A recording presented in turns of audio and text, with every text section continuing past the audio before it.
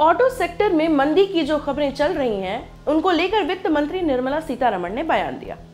अगस्त में बिक्री में रिकॉर्ड गिरावट हुई है। आंकड़ों के अनुसार अगस्त 2019 में गाड़ियों के अठारह लाख इक्कीस हज़ार चार सौ नब्बे यूनिट ही बिके हैं। पिछले साल के मुकाबले तेईस दशमलव पाँच पाँच फ़ीसद की गिरावट आई है बिक्री में।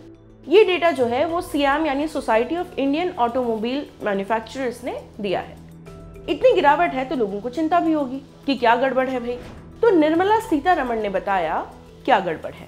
उन्होंने कहा, कुछ स्टडीज़ हमें बताती हैं कि मिलेनियल्स का माइंडसेट ऐसा है कि वो गाड़ी खरीद कर उसकी ईएमआई e देने के बजाय ओला उबर या मेट्रो लेना पसंद करते हैं। ऑटोमोबाइल सेक्टर को प्रभावित करने वाले बहुत से कारक हैं। हम उनकी समस्या सुलझाने की कोशिश कर रहे हैं। बस।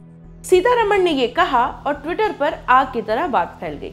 जोक पर जोक बनने लगे। दो हैशटैग निकल कर आए सेट लाइक निर्मला ताई और बॉयकॉट मिलेनियल्स ओला और उबर दो पॉपुलर टैक्सी कंपनियाँ हैं, जिनमें आप मोबाइल ऐप के ज़रिए किराए पर कैब ऑटो बाइक वगैरह बुक कर सकते हैं।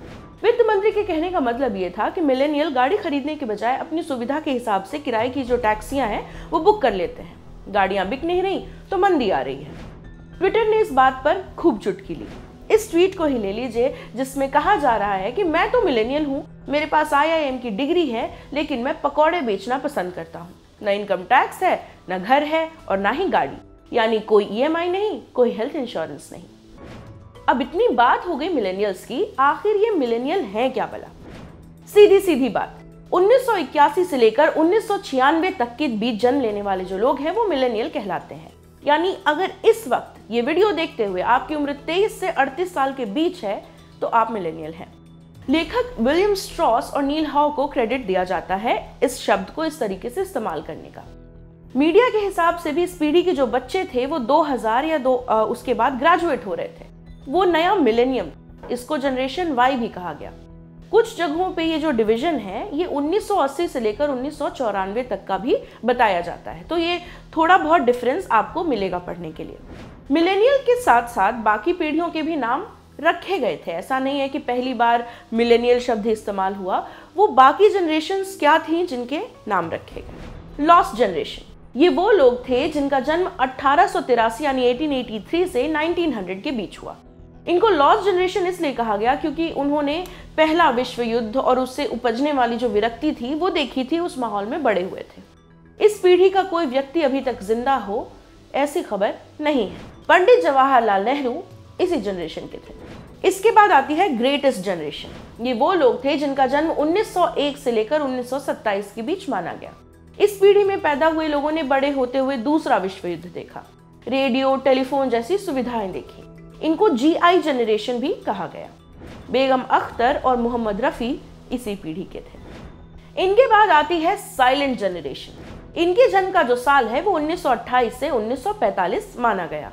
कुछ जगहों पर पढ़ने में ये 1925 से 1942 भी माना जाता है। ये डिफरेंस हम आपको इसलिए बताते हुए चल रहे हैं क्योंकि कुछ जगहों पर हो सकता है कि आपको सालों में थोड़ा सा फ़र्क देखने को मिले, लेकिन जनरेशन यही रहेगी।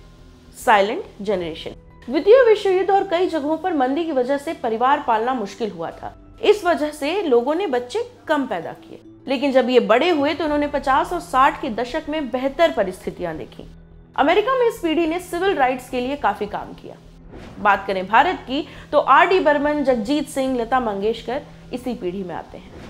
इसके बाद बेबी बूमर्स बेबी बूमर्स आपने पढ़ा भी होगा इंटरनेट पर और कई जगह पर रेफरेंस में भी आता है।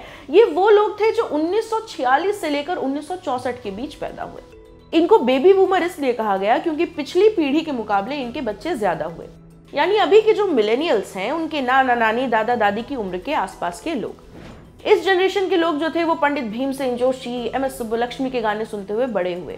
इस पीढ़ी में आता कौन है? डोनाल्ड ट्रंप और बिल क्लिंटन, ये जो जाने पहचाने नाम हैं, ये इसी पीढ़ी से आते हैं। इसके बाद आती है जनरेशन एक्स ये वो पीढ़ी हुई जिसका जन्म 1965 से लेकर 1980 के बीच माना गया।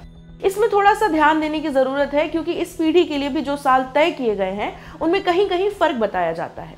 कुछ जगहों पर साल 1961 से इनकी गिनती शुरू हो जाती है और साल उन्नीस तक जाती है। जनरेशन एक्स वो हुए जो कुमार सानू के गाने सुनकर अपने कमरों में रोए, जिन्होंने शोले पिक्चर हिट करवाई, राहुल रॉय को नेशनल क्रश बना दिया।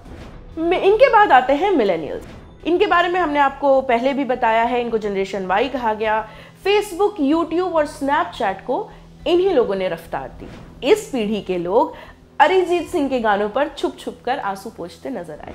ये वही लोग हैं जो इंटरनेट पर only 90s kids will remember this वाले मीम्स उछल उछल के शेयर करते हुए नज़र आते हैं।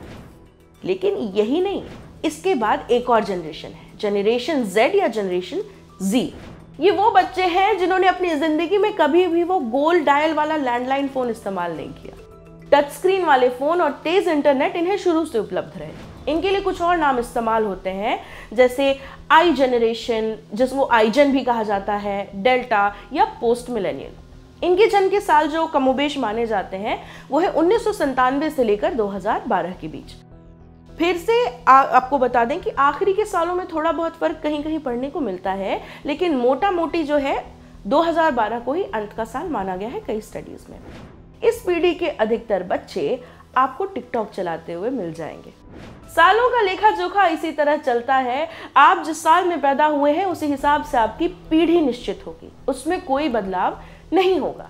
इस वक्त अगर आप मिलेनियल हैं तो आज से 20 साल बाद भी आप मिलेनियल ही रहेंगे। हाँ तब तक भले ही तीन चार नई पीढ़ियों के नाम भले ही आ जाए।